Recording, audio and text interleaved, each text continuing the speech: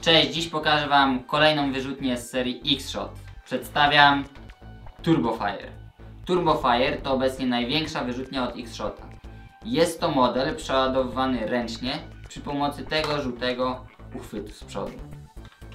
Ta wyrzutnia przypomina mi trochę Rampage'a ze względu na bardzo pojemny obrotowy magazynek i właśnie system przeładowywania. Żeby przeładować wystarczy przesunąć uchwyt do tyłu a do przodu odskoczy już automatycznie. Teraz możemy wystrzelić poprzez naciśnięcie spustu. Jeżeli chodzi o jakość wykonania i plastiku, to uważam, że jest ok. Wyrzutnia jest bardzo lekka, jak na swoją wielkość, a przy tym dosyć solidna. Najważniejszą częścią Turbofire'a jest wcześniej wspomniany obrotowy 20-strzałkowy magazynek bębenkowy.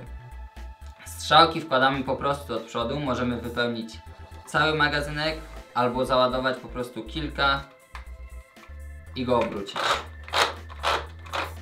Jeżeli jesteśmy już przy strzałkach, to w ostatniej recenzji pokazywaliśmy różnicę między strzałkami Nerf a strzałkami X-Shot. Jak widzicie, strzałki X-Shot są nieco krótsze od strzałek Nerf i mają spłaszczony łepek. Jednakże, co musicie zapamiętać, to, że strzałki z X-Shota pasują do wszystkich wyrzutni Nerf, to znaczy do tych ładowanych od lufy i do magazynków. Natomiast strzałki Nerf nie pasują do wyrzutni Turbofire, ponieważ są zbyt długie.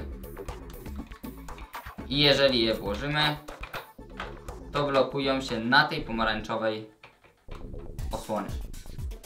Jeżeli chodzi o zasięg tej wyrzutni, to wynosi on około 17 metrów. Nie jest to zasięg Elite, ale spokojnie powinien wystarczyć. Jeżeli chodzi o strzelanie, to możemy strzelać całkiem szybko, jednakże każdy strzał wymaga odpuszczenia spustu, czyli nie ma tu trybu ciągłego ognia. Zobaczcie.